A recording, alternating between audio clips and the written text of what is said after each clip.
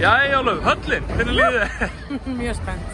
Herðu, þarna, þið mistu Randi út svona frekar snemma í leiknum. Það er eitthvað sérstaklega ágjör af því, eða? Ekki með hvernig leikurum var að spilast. Uh, Randi var sem sagt aðeins um lið í síðasta leikum og gegn Keflavík. Við náðum henni aftur í lið, hún er ekkert ættið síðan þá. Þannig að ef að leikurinn þróast eins og það myndi gera þá ætlaði hann að spila hana lítið. Uh, þannig við vorum búin að undirbúa okkur fyrir það og ég, svo ég segi mér, svo flotta stelpur, það stigu upp og kláraði hann að leik. Það vantaði, það líka hollendingin eitthvað sjá, þannig að þið voru eiginlega bara kanalausar í sittni áleik Við vorum og alveg útlendingar. voru bara, þetta er ekki útlendingarlausar, það voru bara mjög góða.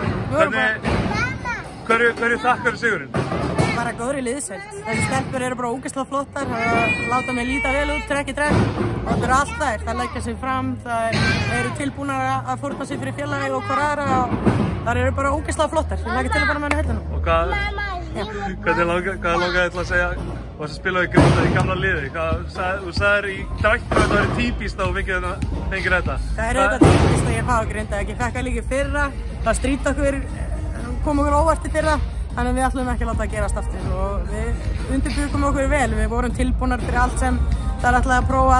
Svæðisvarnir, við vorum tilbúinir í þetta allt. Og, og spilum góða vörð, leiftum þau ekki inn í þeirra eigin leik og það er alltaf bara mjög erfitt í öllu.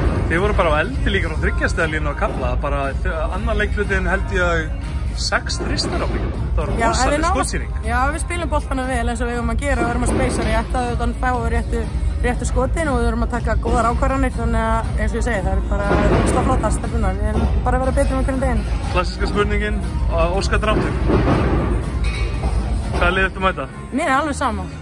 Mér finnst alveg betra að við fara erfiða leðina. Ég meina það er erfið lið í pottinum eftir, þú veist, öll erfið lið sem við erum bæði búin að vinna og tapa gegn og þú veist, ég er til í hvaða challenge sem er, sko.